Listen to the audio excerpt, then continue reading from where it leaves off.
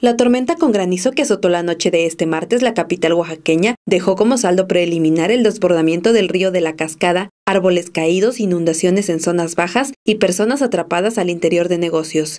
De acuerdo con un reporte de Protección Civil Municipal de Oaxaca de Juárez, a las 10 de la noche se había brindado auxilio a empleados de negocios ubicados en la calzada Porfirio Díaz, en inmediaciones de la fuente de las ocho regiones, quienes quedaron varados en tres locales. Lo anterior debido a que los trabajadores bajaron las cortinas de los tres negocios para impedir que les entrara la lluvia, pero al registrarse la caída de granizo, este causó atascamiento. Hecho similar ocurrió en el Hospital Civil Dr. Aurelio Valdivieso de esta capital.